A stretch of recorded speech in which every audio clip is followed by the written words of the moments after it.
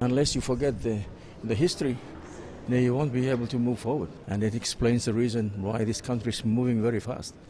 It's driven by this kind of history. There are a number of initiatives that uh, your president is putting out, you know, like the Global Development Initiative and the Global Security Initiative. There are things that uh, we need to have as, uh, as the world to move forward.